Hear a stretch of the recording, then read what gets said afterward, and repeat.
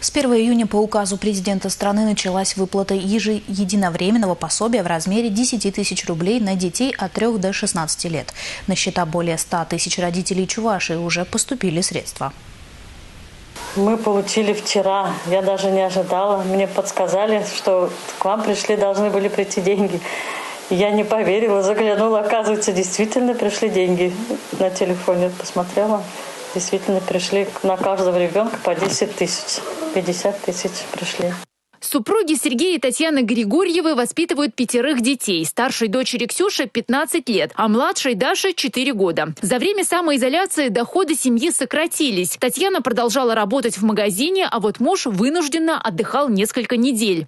Мы, конечно, очень обрадовались. Мы уже начали планировать, мечтать, кому что, сколько как будем тратить, как будем использовать. Такую большую сумму мы использовать э, более на более крупные покупки. По мелочам не хотим растрачиваться. В прошлом учебном году в семье Григорьевых было три школьника. В следующем в первый класс пойдет еще один – Кирилл. Поэтому уже сейчас Григорьевы планируют купить школьную и спортивную форму, обновить компьютерную технику. Помощь от государства действительно почувствовали мы. Уверенность в завтрашнем дне. Не надо думать, как, что, почему, как э, справиться с этим.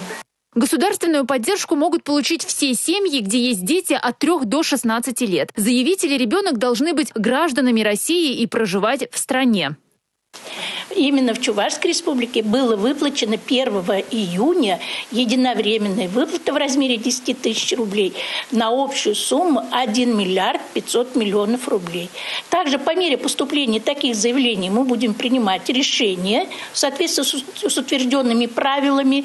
В течение пяти рабочих дней будет приниматься решение, и в течение трех дней, трех рабочих дней после э, принятия решения перечислены средства. В целом сейчас мы работаем уже в штатном режиме. Все заявления, поступившие с 12 мая, максимально мы рассмотрели. Таких детей от 3 до 16 лет должно быть 206 тысяч детей. Больше половины заявлений из общего числа уже обработаны. Те, кто еще не подал заявление на единовременную выплату, могут сделать это до 1 октября. Татьяна Трофимова, Николай Скворцов, Республика.